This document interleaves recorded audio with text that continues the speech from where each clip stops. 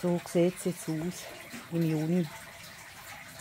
Die Gemüsepflanzen haben sich wunderbar entwickelt, die Blumen. Paprika.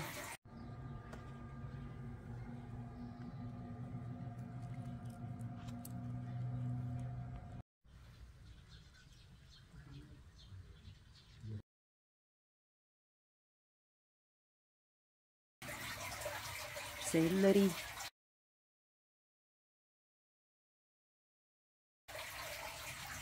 Der Salat. Das ist also ganz eine tolle Sorte.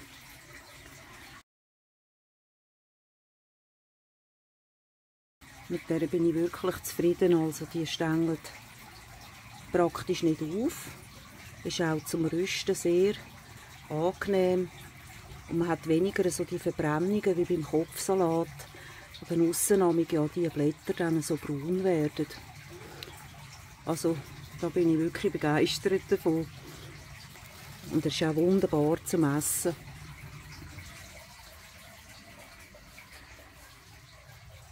Da geht es.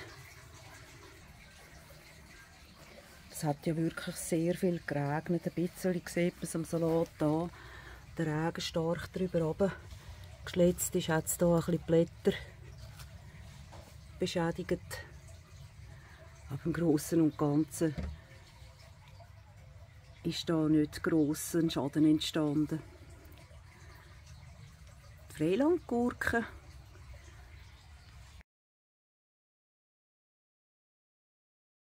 Die auch wunderbar, wachsen da auf und auf. Und schon bald oben beim Dach an, muss ich sie dann ein bisschen umlenken. Ich mache die da am äh, Maschendraht fest mit diesen Klemmerli. Selber machen sie dann da auch noch die, die Ranken, wo sie sich da festheben. Und auch ein Haufen Seitentrieb. Man sieht jetzt zum Beispiel da geht ja auch schon ein Seitentrieb weg. Wo dann auch wieder Früchte dran wachsen. Und so hat man mit einer oder zwei Gurkenpflanzen hat man meistens schon äh, für den Eigenbedarf wirklich genug. Und das ist die erste Gurkenernte dieses Jahr.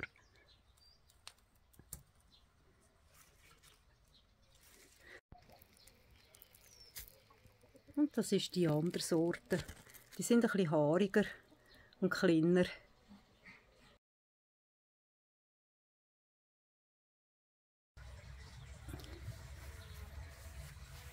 Das ist ein Feuersalbei. Das ist auch eine Blume, die dann so eine rote Blüte macht.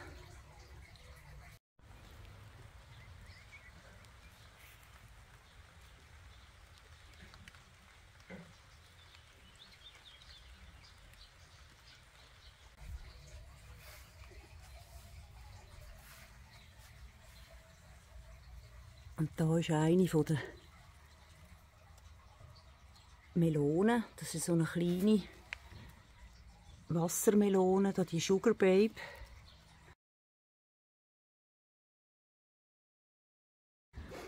Die hat da zwar ein bisschen gelitten, weil die Schnecken haben sich da ein bisschen an der Triebspitze gütlich da, aber die wird da sicher auch noch wieder neue Seitentrieb machen.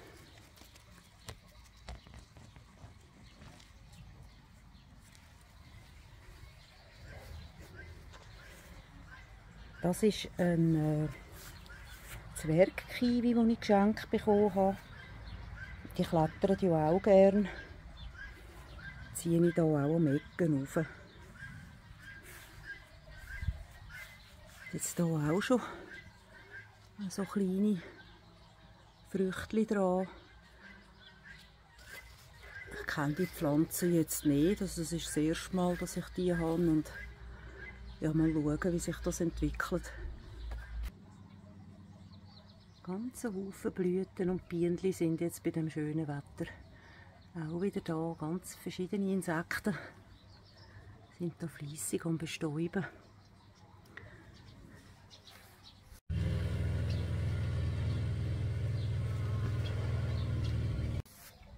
Das ist so der Teil, wo ich alles ein bisschen in den Stein habe und keine äh, Lehmerde drin, sondern es ist alles Komposterde. Mit der habe ich generell gute Erfahrungen gemacht über die Jahre.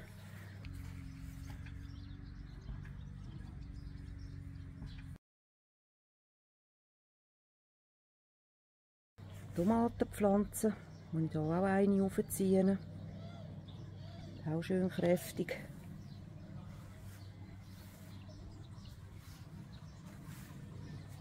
So sieht das ein bisschen aus. Und das Schöne ist auch an diesen Steinen, man denkt vielleicht im ersten Moment, ja, da ist ja nicht viel Platz drin. Aber man kann also gut drei bis vier Pflanzen kann man in so einem Stein, der hat 40 auf 40, setzen. Und wenn man ja dann etwas abgeerntet hat, wie hier den Kopfsalat, da gibt es dann wieder Platz. Da kann man etwas Kleineres, Blumen oder was man dann halt noch hat an Gemüse, vielleicht noch Kohlrabi oder Sellerie oder dann neue Salatpflanzen ein bisschen später, kann man dann einfach wieder dazusetzen. Und so ist auch die Oberfläche von diesen Teilen ein bisschen schattiert.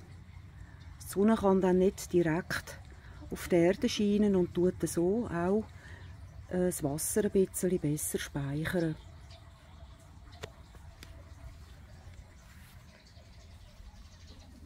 Da sind noch Reservepflanzen, Tomaten. Da habe ich jetzt auch immer ein bisschen etwas verschenkt. Vieles, was ich gemacht habe, habe ich, habe ich äh, verteilt, weil für mich selber ist es zu viel. Und andere, die vielleicht kein Gewächshaus haben, sind dann einmal noch froh, wenn sie ein bisschen Jungpflanzen überkommen. Da habe ich auch noch Blumen.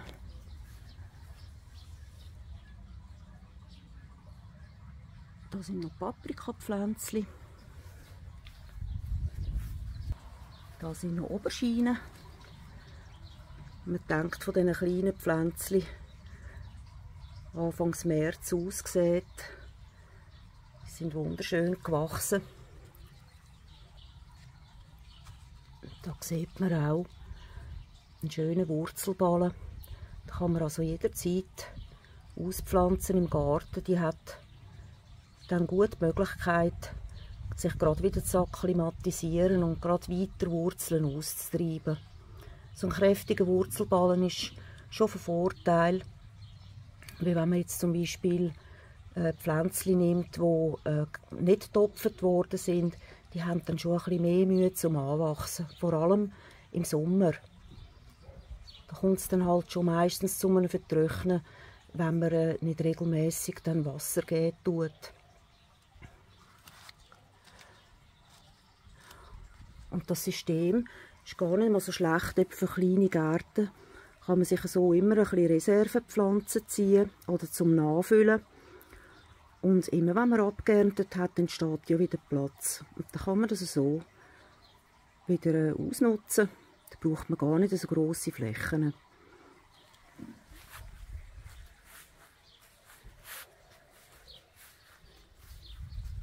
Hier hinten ist ein kleiner Teil mit diesen Steinen. Das wächst also wirklich alles wunderbar da drin.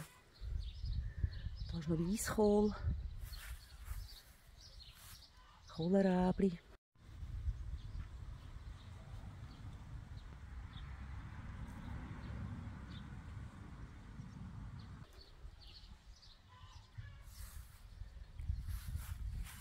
Das sind jetzt Salatsorten, die jetzt natürlich Blüte gehen.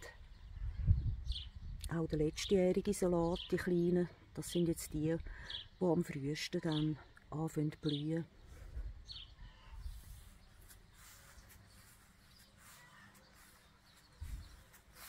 Natürlich die schönen Zinien. Ich finde das so eine tolle Blume. Gibt es in allen Farben. Ich habe mich dieses Jahr dafür das Lila entschieden.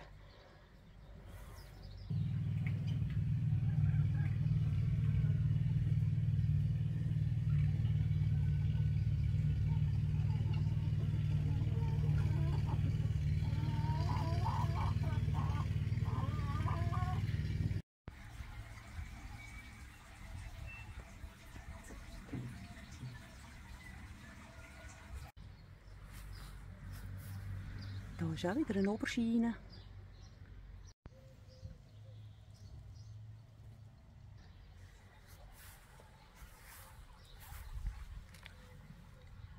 Kohlräbli. Und da hinten auch wieder so eine Zwergwassermelone. Die kann sich dann da auch schön festheben an dem, an dem Maschendrahtzaun.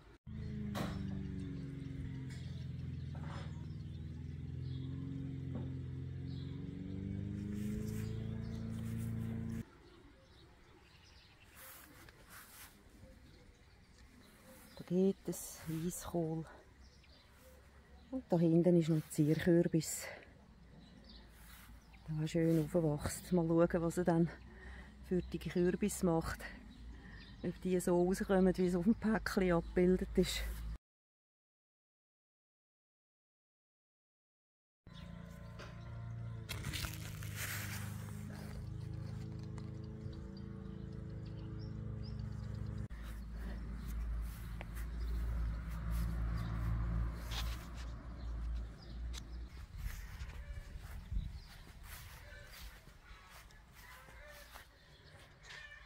Das ist die große Garteninsel. Da bin ich mit dem gleichen System dran. Also keine Lehmerde drin, da ist überall Komposterde drin. Zierkürbis. Er hat da schon eine kleine, kleine Frucht ausgebildet. Eisbergsalat, verschiedene Salate. Die haben da, die Paprika haben ein bisschen gelitten sind wir Schnecken dran gegangen und halt ein bisschen zu viel Wasser. Aber die heiße Jahreszeit steht ja erst noch bevor. Also es ist kein Vergleich zum letzten Jahr. Wenn man das Video anschaut mit dem Dürresommer 2022, also da haben wir im Juni im Grunde genommen schon aufgehört Wasser zu geben. Es ist alles vertrocknet und, und Flohkäfer haben sich an allem gütlich da. Bis jetzt haben wir wirklich Glück gehabt. Da hat es noch Knoblauch drin.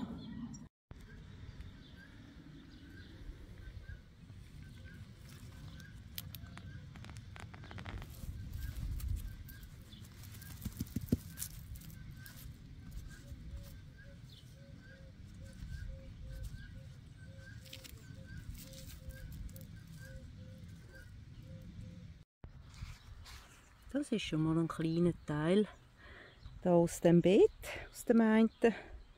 Ein paar Knoblauch. Und die sind wirklich schön geworden. Und es hat auch gerade wieder Haufen Platz gegeben für andere Sachen.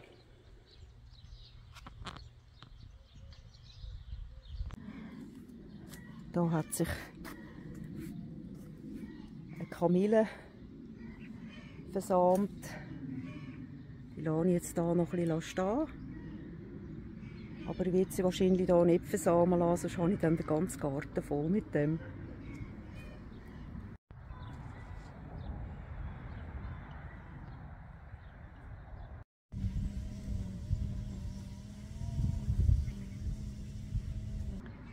Jetzt auch noch ein Eisberg. Auch wieder verschiedene Salate. Da sind zum Teil auch noch Letztjährige dabei, die überwintert haben. Und das sind jetzt die, die natürlich da schon in die Blüten gehen.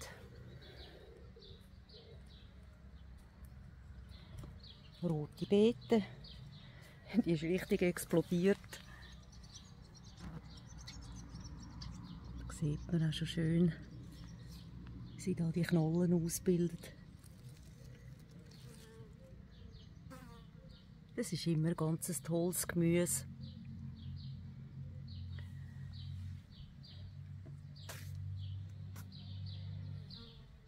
Kohlrabi. Das ist so ein, ein schattiger Teil, der sich auch gut eignet für Kohl.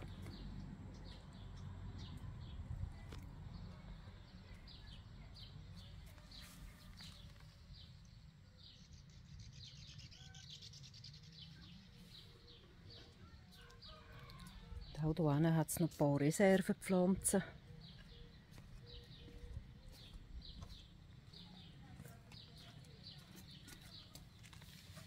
Das ist jetzt zum Beispiel auch Sellerie. Den ich getopft habe. der ist praktisch gleich groß wie der, der schon ausgepflanzt ist. Auch hier sieht man wieder einen wunderschönen Wurzelballen. Den kann ich also jederzeit immer noch in den Garten tun. Also richtig auspflanzen.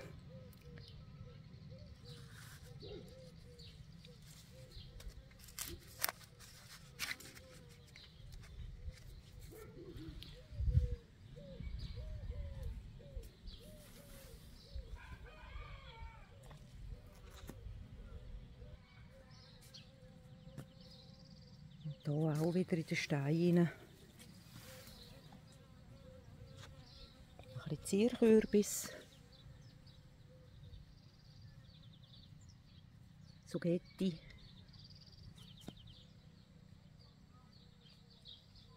Tomaten. Die ziehe ich hier dann noch den Schnür hoch. Da ist oben so eine, ein Gestänge. mit Schnür und dann kann ich da alles, was Halt braucht, könnte ich da aufziehen. Gurke, Tomaten, Kürbis, Melonen. Das hat sich also noch sehr bewährt. Gerade vorne dann, vor dem Haus, habe ich auch noch so Topfpflanzen, die ich nach dem gleichen System aufziehen. Das kann man also auch wunderbar eben machen, wenn man irgendjemand möchte eine Pflanze herstellen einfach eine Möglichkeit bieten, an einer Schnur aufzuwachsen.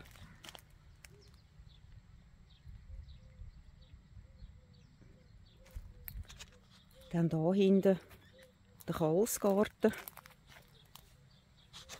Das ist ja praktisch nur Lehmboden. Dahinter steht noch ein bisschen Knoblauch. Spaghetti ist auch noch ausgepflanzt. Aber das ist jetzt richtig alles nass. Also kann ich gar nicht jetzt rein.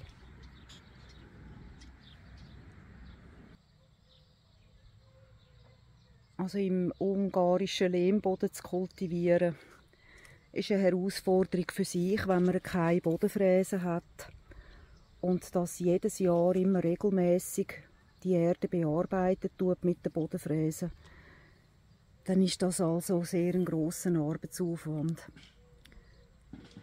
Weil da hat man sehr viele Unkräuter drin.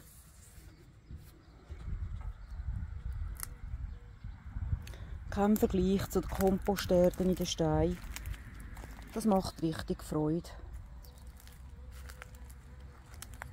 Da hat man mal da und dort ein Unkräutchen, das man muss zupfen muss. Aber die Erde ist immer locker, krümelig, saugt das Wasser gut auf. Und das Ergebnis lässt sich auch sehen. Wenn man nicht möchte Steine kultivieren, gibt es ja auch die Möglichkeit hier mit diesen Kistchen das haben wir vor vielen Jahren haben wir die mal gekauft und da ein grosses Beet angelegt. Und das hat sich hervorragend bewährt. So wenn die auch nicht ganz günstig sind, die Kistchen. Wir haben also bereits im ersten Jahr so viel geerntet daraus heraus, dass sich die schon bezahlt haben. Auch hier der Knoblauch fühlt sich wohl. Rüebli, die ich im März ausgesät habe, Anfangs März.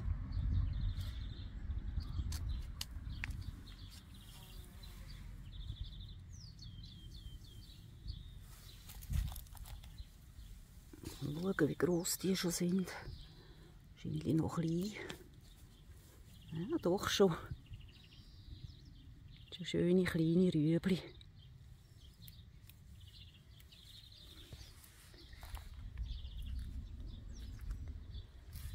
Das ist der Nüsslisalat, der geht jetzt in die Blüten. So sieht das aus. Da könnte man sich jetzt wieder selber versamen lassen. Man kann ihn aber auch relativ weit unten abschneiden. Die Blätter sind alle noch gut zum Essen. ein sehr gutes Aroma. Ist dann halt zum Rösten ein bisschen ein Mehraufwand.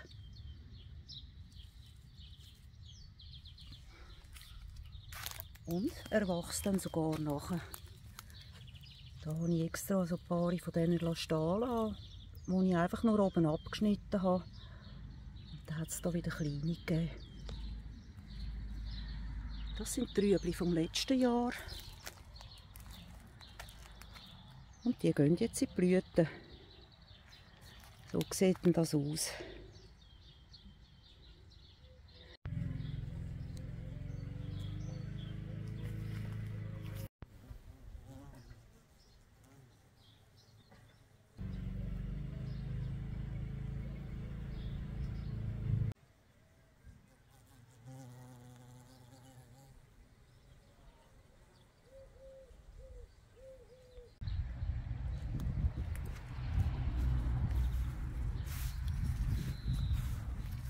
Frühlingszwiebeln vom letzten Jahr. Die haben hier überwintert. Und da sieht man jetzt auch, wie die schön Zwiebeln ausbilden. Und die sind also auch ganz hervorragend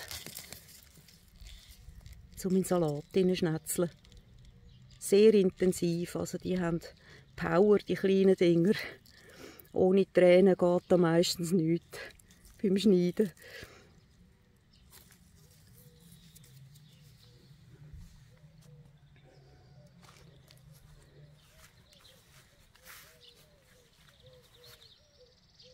Und da ist auch noch einiges so Weißkohl. Der wird jetzt dann im Juni einen Kopf ausbilden. Am Anfang wachsen ja einfach die grossen Blätter aussen. Und dann plötzlich sieht man, wie er sich da rein, wie er da dann immer mehr Energie in die Mitte steckt und dann da den Kopf macht.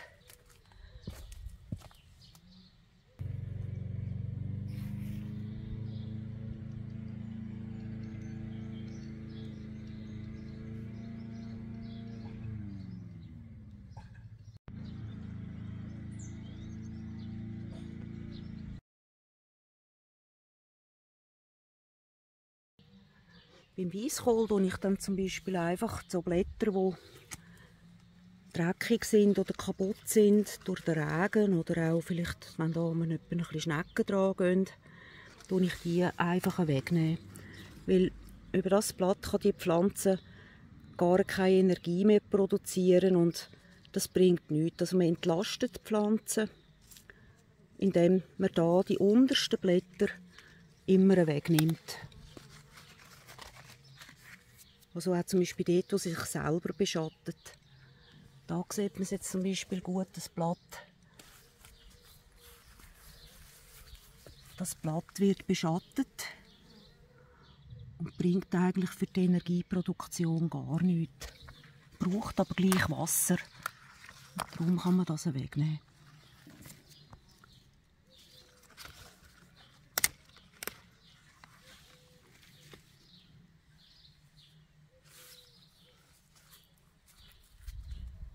Sind auch noch Paprika in der Mitte. Das sind jetzt solche, die ich ausgesetzt habe, direkt im Garten. Die haben sehr lange gebraucht zum Anwachsen. Sind also auch nicht so groß wie die Topfeten. Aber jetzt äh, dunkt es, wir machen es auch schon rechte Fortschritte.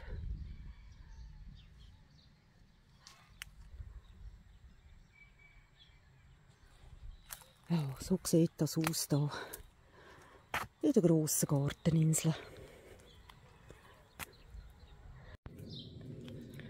Und da vor dem Haus sind jetzt eben noch die anderen Töpfe. Auch noch ein Gurken. Das ist einfach so eine Eisenstange, da wo am Zaun befestigt ist. Und oben rein sind Bügel von alten Kesseln. Die haben wir dann behalten und dann da so oben reingesteckt. Und da kann man jetzt dann wunderbar die Schnüre aufhängen. Das System funktioniert so, wenn man einen Topf hat, dass man unten eine Halteschnur macht. Also die ist da am Topf befestigt. Und die Schnur, wo dann äh, die Pflanze drauf wächst, die wird an dieser Halteschnur da befestigt, möglichst näher an der Pflanze. Dann kann man die da so aufziehen. Einfach immer umwickeln.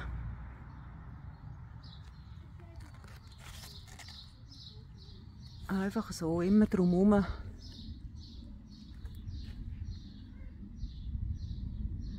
Und dann kann sich die Pflanze mit dem gesamten Gewicht, wenn dann die schweren Gurken dran hängen, kann sich da richtig in die Schnur legen. Also der Wind kann da gar keinen Schaden mehr anrichten, weil die hat richtig Halt. Kann da aufwachsen. Und den Zeitentrieb kann man dann genau gleich aufziehen. Da mache ich das noch mit den Tomaten.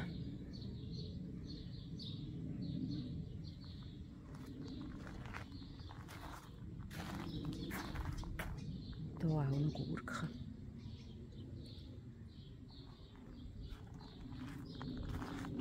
Ist also auch eine Möglichkeit, wie man auf ganz kleiner Fläche vertikal kann äh, das Gemüse nach aufwachsen lassen und so sehr wenig Platz braucht.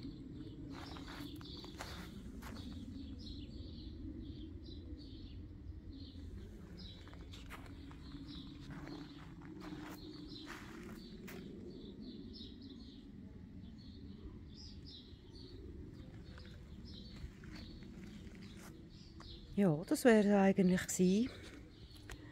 Der Gartenrundgang im Juni. Ich hoffe, bei euch wächst auch alles, wenn ihr einen Garten habt.